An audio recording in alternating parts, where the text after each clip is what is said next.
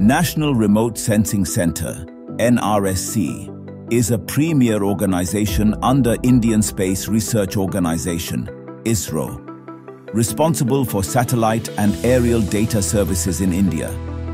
The major activities of the organization are Earth observation satellite data reception, processing, product generation and remote sensing applications to natural resource management, environmental monitoring, disaster management.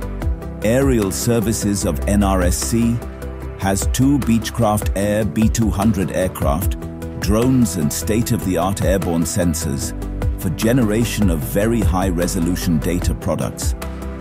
NRSC has dedicated training facility catering to geospatial technologies and applications by conducting variety of courses to suit needs of all users. This drone training course is unique and first of its kind in the country.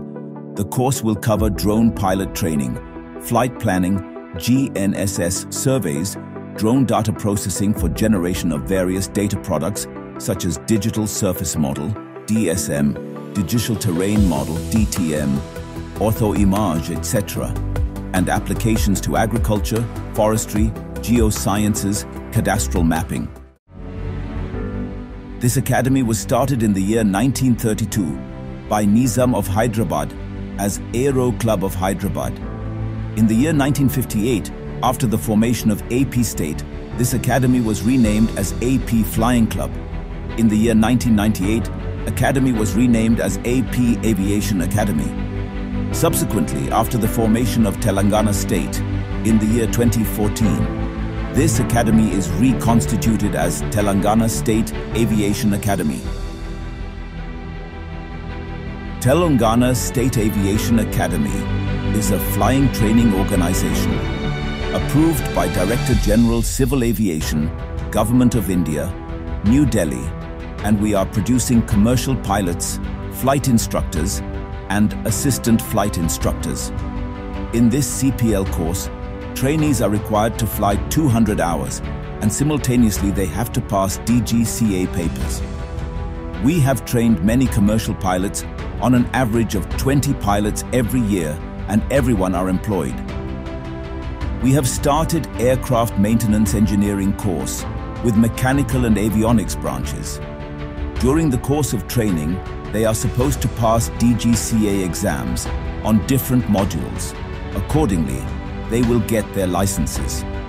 Along with Aircraft Maintenance Engineering course, we introduced a unique course, MSc Aviation, for the first time in India, in collaboration with JNTU, Hyderabad.